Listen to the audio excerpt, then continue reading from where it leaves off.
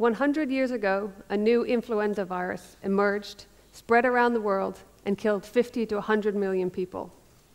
For every 40 people that got this influenza infection, one of them died. And you think maybe that's not that bad odds, but for the most recent influenza pandemic, for each person that died, there were probably 10,000 cases, which means that this 1918 influenza pandemic was the worst pandemic in history. Here's a graph showing the weekly deaths at the time of the pandemic in New York, London, Paris, and Berlin. You can quite clearly see in the middle the major wave of the pandemic. And so, all the way from North America to Europe, this pandemic was happening at the same time. And this synchronicity, this is a common feature of influenza pandemics. So not only was there this major influenza pandemic in 1918, but it was also the tail end of the First World War. And I've marked here the armistice, so the official end of the First World War, in white. So you can see here that not only was this a terrible time for Europe, but data were being collected on deaths. And this really shows that infectious diseases are a priority. And we need to collect these kind of data to understand how and why these epidemics happen. So computational and mathematical tools can be used on data like these to understand the transmission processes and how the epidemic is occurring, with the ultimate aim of trying to develop interventions, so control methods, to curtail the epidemic and to slow down transmission. So the difference between epidemics and pandemics is one of scale. Since they're Greek words, you probably already know them, but for those who, who aren't, I'll just briefly explain. An epidemic is geographically localized to one place. So, for instance, the recent Ebola epidemic in West Africa was confined to West Africa and is therefore an epidemic. The 1918 influenza pandemic, that spread around the world. And spreading around the world is what defines a pandemic. When we get any new epidemic, one thing we're really interested in is how quickly it's spreading from person to person. And we define this as the reproduction number. So the reproduction number is the average number of new cases that each infectious person causes at the start. So if you were the first person that got an epidemic or got a new virus or a new pathogen and nobody else had had it, how many people would you infect? So let's take, for example, that one infectious person walks into the room. And if the reproduction number is two, we expect two new cases from that person. And if those two people go off and infect two more of their friends, well, they might not have two friends anymore, but we now have four cases. And then if those four infect two more each, and so on and so forth, you can see that the epidemic will grow. So the reproduction number, the average number of people that each infectious person infects, really determines how quickly the epidemic grows. Okay, well, this is true, especially in the beginning. But if you carried on like this, with each person infecting two, step by step, as we've shown here, by the 33rd step, you would have infected everybody on Earth. And we know that that doesn't happen. So, why is it that that doesn't happen? Well, this is because you start to run out of susceptible people, so people who haven't had the infection. And this is called depletion of susceptibles. So, to demonstrate this, let's imagine that this person here, we'll call her Christina. Christina was infected in the second step, which seems like pretty bad luck. Christina happens to be friends with Spiros. So, when Spiros gets in infected later, and he tries to infect two more, one of the people he tries to infect is Christina but she's already had it.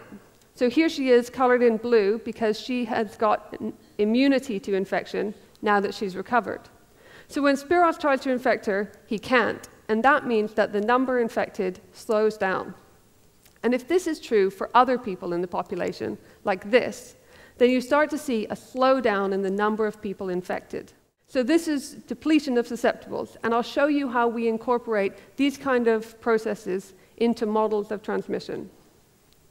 So if we were going to model something like flu, the first thing we would do is divide the population into three disease groups. So here you can see people who are susceptible to infection, so they're able to get infected. You can see infectious people who have got the infection and are spreading it to other people. And then you've got in blue the recovered or died group. So normally we assume that when people recover from infection, they're protected. But if it's a very severe infection, they may also have died. And everybody in the population has to be one of these groups. And we determine the rates, that of, rates of transition between each group. So when you get infected, this happens at the rate of transmission. And then when people recover, this happens at the rate of recovery. So, this rate of transmission is the most important one when we're thinking about how quickly epidemics grow. And what we want to define is when you have an infectious person in the population and they go out and they make contacts with the people that they know, how likely are they to pass that infection on to their contacts? And so, what we do when we mathematically define the rate of transmission is we're going to divide it into four parts. So, first of all, we have our rate of transmission is equal to the number of infectious people. So, the more infectious people there are, the higher the rate of transmission will be, because there's a lot of people around infecting, infecting people. Then we multiply it by the number of contacts that each person has on average. So you can see here that the, that the infectious people make those contacts at random with susceptible, infectious, or recovered people. Then we include the probability of infection on a contact. So, what is the chance that when an infectious person meets a susceptible person, they give them the infection? For flu, this is probably around 10%, something like that. And then finally, we include the proportion of the population who are susceptible. So at the beginning of an epidemic, when most people are susceptible, so they haven't had it, the probability that you meet an, a susceptible person is quite high. But later, as this pool is depleted, so you run out of susceptible people, it becomes less likely that you'll meet a susceptible individual. So let's see how this is incorporated into, um, into our models. So this is what an epidemic looks like, a simulated epidemic in 5,000 people. You can see the gray bar marks the susceptible group, and it starts at 5,000, which is everybody apart from one infectious person at the beginning. In red, you can see the infectious epidemic, and then in blue, the recovered group at the end. So, what you might notice is that at this point, when half of the susceptible individuals have been infected, this part of the equation, the proportion of the susceptible, is also halved, which really pushes down the rate of transmission. And that's important because it's this depletion of susceptibles, so running out of susceptible people, that causes the epidemic to peak and then decline. Now, the eagle eyed among you might have also noticed that if you draw a horizontal line at 5,000, which is the total population, that by the end of the epidemic, there's a small gap. There's a gap between the total number of susceptible people and the number of people that were infected in total. And that's because some people don't get infected, the lucky ones. So the, this total number of people infected and the size of the gap is determined by the reproduction number, by how infectious the pathogen is. So let's explore how that relationship looks. So what I'm showing you here, on the horizontal axis, you can see reproduction numbers from 0 to 5. And on the vertical axis, you can see the percent of the population that are infected in total. So let's take a look at some pathogens that you might have heard of and see what their reproduction numbers are. So here, for example, seasonal influenza, probably around 1.4, 1.5. Ebola, that's around uh, 2. Uh, pandemic flu, maybe two and a half. SARS, uh, around three. And then smallpox, around five. So for every case of smallpox that we see, that we could see in the population, we would expect to see five more smallpox cases. So, what's the relationship? Here you can see that from zero to one, when the reproduction number is less than one, there's no, nobody is infected. And that's because if you infect less than one person for each infectious person, there's no epidemic. And then it takes off rapidly and appears to approach 100%. But it doesn't quite. That line doesn't quite reach 100%. And to show you that, let's take a look at even higher reproduction numbers. So here you can see the same graph, but now the horizontal axis starts at 5 and runs till 10, and the vertical axis is much higher.